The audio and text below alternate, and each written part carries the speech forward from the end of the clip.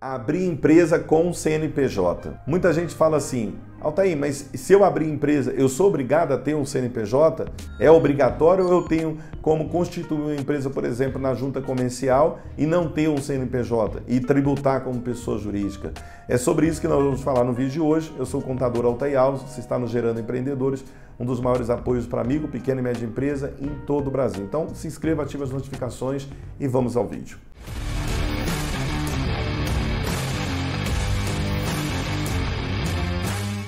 Abrir empresa sem CNPJ. Bom, primeiro de tudo, nós vamos pensar o seguinte: o que, que é abrir uma empresa? O primeiro ato, que é o ato de constituição, ele é feito ou no cartório de pessoa jurídica ou normalmente na junta comercial do teu estado, onde tem a sua certidão de nascimento empresarial, que é o seu contrato registrado na junta. Isso não te dá nenhumas condições para que você exerça uma atividade empresarial. Por quê? Porque você ainda precisa de mais cadastros. Então, você vai lá, vai pegar o teu CNPJ agora.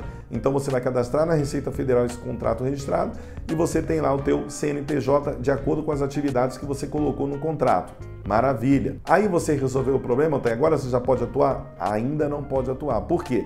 Porque se você for comércio, você tem que fazer uma inscrição estadual para prestar conta para a Secretaria da Fazenda do teu estado. E se você for um prestador de serviço, você tem que fazer o cadastro que é obrigatório para todo mundo, o cadastro na prefeitura para que você possa, se necessário, tirar os alvarás para funcionamento, vigilância sanitária, corpo de bombeiro e outros alvarás. Então existe uma diferença grande, né? E que a gente precisa estar tá, é, conectado com isso. E aí como que a gente pode te ajudar em todo esse processo? Nós podemos te ajudar fazendo esse processo para você.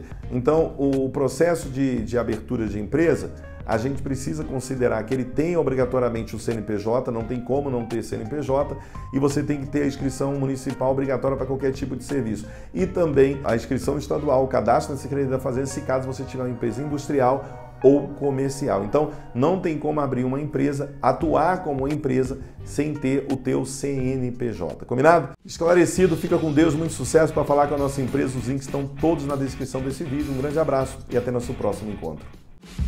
Thank you.